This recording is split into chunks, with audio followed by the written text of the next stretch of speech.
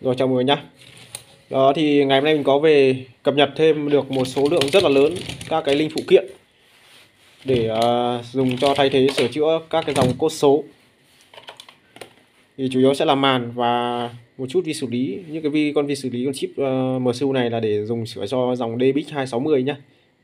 Dùng chung cho các bản uh, DBX 260 hàng Mỹ này, hàng China.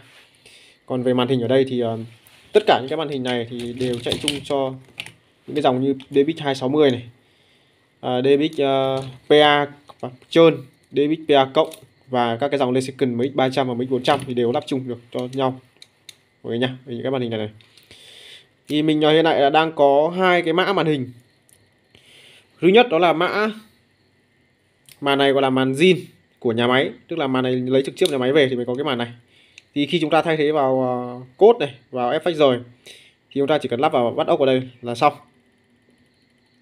đó. Còn uh, đây thì cái mã màn zin này thì có rất là nhiều có khoảng uh, gần ba chục cái.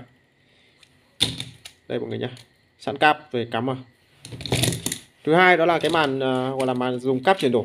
Thì cái màn này gọi là màn hình uh, bên mình uh, nhập một cái mã hình một cái mã màn mà nó sẽ đầy đủ các cái ký tự tương đương với cái màn zin.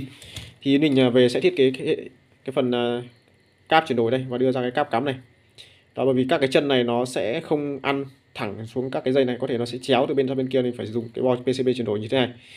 Đó, và đưa xuống cái cam này, và chúng ta cũng chỉ cắm vào là chạy. Đó, thì hiện tại là đang có hai cái loại màn. Một màn là màn cáp chuyển đổi, tức là màn này là không phải màn nhà máy, và một màn là màn nhập trực tiếp nhà máy nhé đó, màu xanh dương này, hay dùng cho PA cộng hoặc là Lexicon này.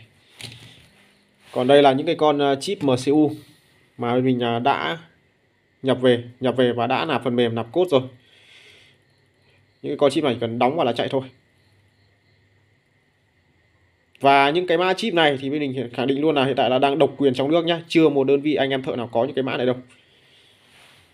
Cái này chúng ta sẽ phải à, làm về cái kỹ thuật lập trình mới có thể xử lý được liên quan đến những cái phần này. Đó, thêm mọi thông tin uh, chi tiết về các cái linh phụ kiện, đặc biệt là về màn hình và chip xử lý, chip lập trình trên dòng DBX 260 và màn hình.